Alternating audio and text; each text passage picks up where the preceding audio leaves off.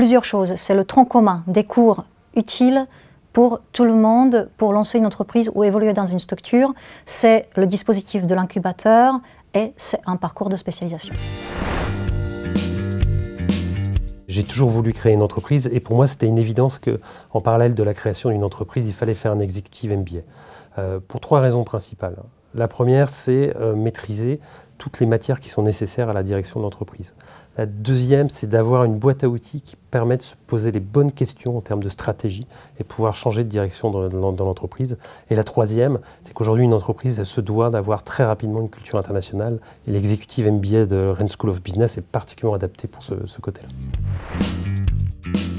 Le fait que les idées sont discutées, comparées, élaborées dans les, par les équipes multinationales. Dans ma promotion, il y avait plus de 15 nationalités différentes et puis plus de 90% des professeurs sont aussi euh, d'origine internationale.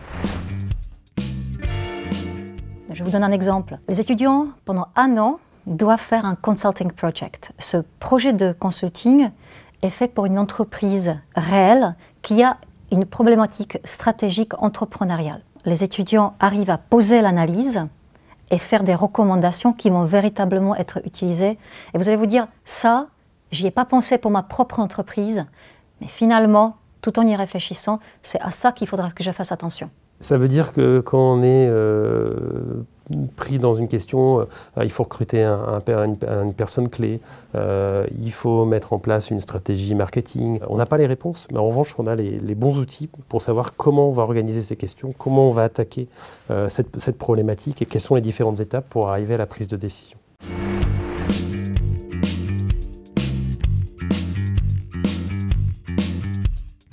je prends mon temps là. Que j'ai deux choses qui se bousculent. J'en ai une qui me dit euh, c'est compliqué de faire un billet en, même temps création d'entreprise, parce que c'est quand même quelque chose qui est, chronophage. Maintenant, de toute façon, la création d'entreprise, un gros investissement, et je pense que c'est une brique indispensable. Vous diminuez le risque de vous tromper. Aujourd'hui, je pense que, voilà, euh, nous, on a passé une, étape, là maintenant, on, vient de fêter nos, nos 4 ans, et euh, voilà, et il y a des choix, clairement, que j'aurais pas pris si j'avais pas fait l'exécutif MBA.